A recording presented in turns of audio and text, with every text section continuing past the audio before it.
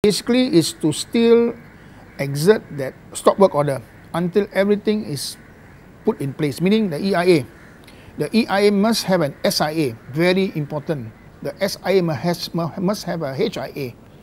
Uh, because why? These are all interrelated, being like a historical maritime uh, center. But earlier you said you want the project to be cancelled, so are you still sticking with that?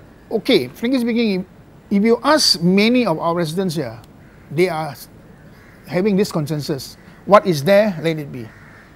No more, no more reclamation. If I'm not mistaken, 2016 March, after our pressure, we went to Parliament, we handed a memorandum and then when to... was the memorandum ended, the first one? Okay, I think we, we handed the first memorandum uh, to Najib through uh, Shahidan Kassim. Okay. When was this? I have the thing in my car. I'll give you the date. Ah, I didn't bring. Okay, so that was the first. Yes, so that was the the memorandum that we sent. But prior to that, we also uh, wrote to the minister, uh, to the director general of the DOE. Okay, informing him of our unhappiness, and uh, according to him, they have uh, all the approvals. Every time when the government refer to these projects or mega projects like this, they always say it's demi pembangunan for development, right?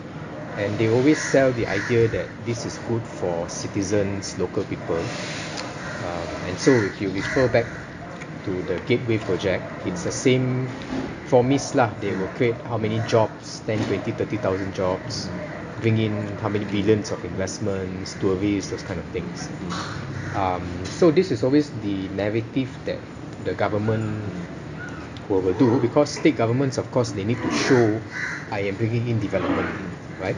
Um, but the bigger question for me and for us is um, is this uh, development model sustainable right? Um, because if you look at, at Malacca if you drive along the coastal way later uh, you can see there are a lot of um, commercial buildings shop lots and things like that which are actually empty right um, you can look at this one the the elements mall mm. and imperial mall shopping malls big shopping malls built a couple of years before mco and things like that also empty and abandoned um, along the ways there's now many more high-rise condominiums and this kind of mixed development kind of things lah.